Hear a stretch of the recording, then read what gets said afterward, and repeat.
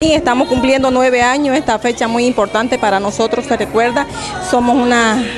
integrante de 18 personas y lo estamos pasando muy bonito aquí divirtiéndonos, celebrando un año más.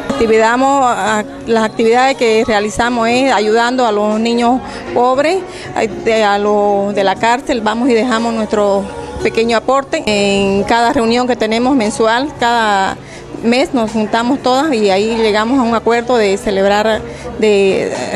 de ir a dejar un aporte.